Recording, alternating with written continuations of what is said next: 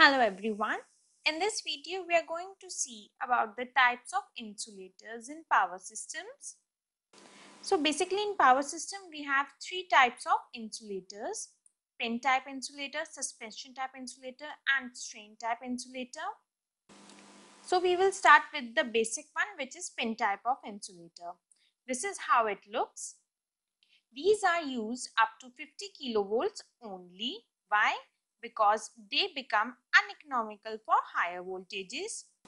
The main advantage of a pin-type insulator is that it is cheaper. In modern practice, it is not used beyond 33 kilovolt. So the next one is suspension type of insulator. As you can see from here, it is hanging. They are made in the form of disc. See, this is the disc and a number of them are used together. See, there are many discs. In this given figure, you have 8 discs. In a flexible string for the voltage range desired. So what does this flexible means? So flexible means you can add or remove any number of discs you want according to the voltage range desired. The conductor being attached to the low end.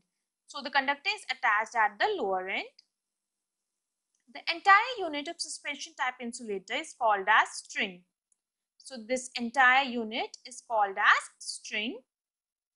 Each unit of suspension type insulator is designed for a low voltage of about 11 kilovolt. So each unit has a rating of 11 kilovolts approximately and can be used for connecting them in series the number depending on the working voltage. So what does this mean? When you connect them in series, then their voltage rating gets added.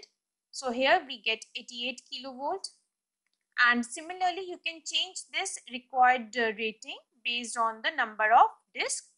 As you know that it is a flexible means you can add or remove any number of discs depending on the working voltage. The suspension type of insulators are held in a horizontal plane. So this is your horizontal plane and they are held like this. Next one is strain type of insulator.